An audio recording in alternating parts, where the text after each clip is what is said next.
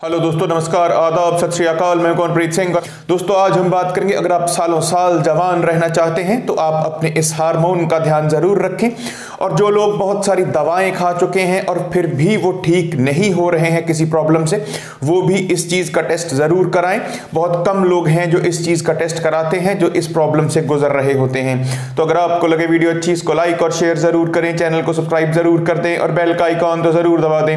आज का वीडियो शुरू करते हैं। बिना को टाइम खराब किए हुए, बिना को टाइम वेस्ट किए हुए। तो दोस्तों, आज हम बात करेंगे एच जी एच की, जो ह्यूमन ग्रोथ हार्मोन होता है, इसका सीधा सीधा संबंध, आपका जो सेक्स हार्मोन है टीस्टोस्टेरोन उसके लेवल से है। अगर एच जी एच के लेवल्स डाउन जाएँगे तो जो आपका सेक्स हार्मोन है टीस्टोस्टेरोन उसके लेवल्स भी डाउन जाएँगे। जो आपकी इरेक्शन है, इसके ऊपर भी सीधा सीधा फ़र्क आता है एच जी एच का। जो भी आपके नए टिश्यूज और नए सेल्स आपकी बॉडी के अंदर बनते हैं, उनके लिए सीधा सीधा एच जी एच जिम्मेदार होता है। जो आपकी बॉडी का मेटाबॉलिज्म है, जो इस बात को सुनिश्चित करता है कि आप जो भी न्यूट्रिएंट्स अपने फ़ूड के अंदर खा रहे हैं वो सही से आपके शरीर के अंदर अब्जॉर्ब हो जाएँ। उस काम के लिए भी सीधा सीधा एच जी एच ही जिम्मेदार होता है।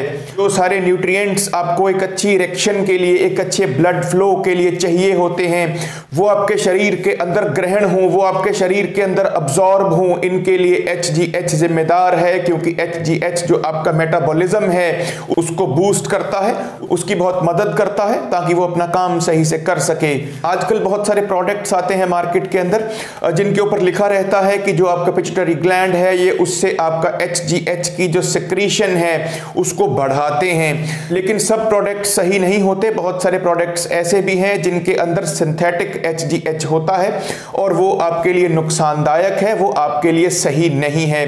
अगर आपके अंदर एच के लेवल्स कम हो तो कोशिश करें कि आप इनको नेचुरली ही बढ़ाएँ।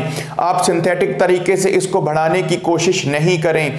अगर आपके शरीर के ऊपर फैट्स की मात्रा ज़्यादा है तो आप फैट्स की मात्रा को शरीर से कम करें। जितनी फैट्स आपके शरीर के ऊपर बढ़ती जाएँगी, उतना एच जी एच कम होता जाएगा। जितनी फैट्स आपके शरीर के ऊपर कम होती जाएँगी, उतना एच जी एच बढ़ता जाएगा। दूसरा, आप काम क्या कर सकते हैं? इंटरमीडियंट फास्टिंग करें। लंबे वक्त के लिए फास्टिंग करें, जैसे 10 घंटे के लिए 12 घंटे के लिए 15 घंटे के लिए। लेकिन इसको बहुत ध्यान से करें, किसी डाइटिशियन की निगरानी में आप ये काम करें। आप उनसे एक अच्छा सा डाइट चार्ट बनवा लें ताकि आपके अंदर किसी न्यूट्रिएंट की कमी भी नहीं आए और आपका शरीर भी स्वस्थ रहे और आप लंबी फास्टिंग भी कर पाएँ। उसके बाद जो आपकी शुगर इनटेक है, चीनी कम खाएँ। जब आपके शरीर के अंदर ग्लूकोज के लेवल्स बढ़ते हैं तो उसका सीधा सीधा असर एच जी एच पे आता है। उसके बाद कोशिश करें कि रात को टाइम से सो जाएँ। नौ दस बजे से लेट नहीं सोएँ, क्योंकि जो आपकी बॉडी मैक्सिमम रिलीज़ करती है एच एच वो मिडनाइट में करती है, वो रात को 12 बजे के आसपास करती है। तो अगर आप उस वक्त डीप स्लीप में होंगे तो बहुत बढ़िया तरीके से आपका जो एच जी एच है, वो रिलीज़ होगा। तो अगर आप अपने एच जी एच लेवल्स को मेंटेन रखेंगे तो फिर आपको कोई दिक्कत नहीं आएगी। आप लंबे समय तक जवान रहेंगे।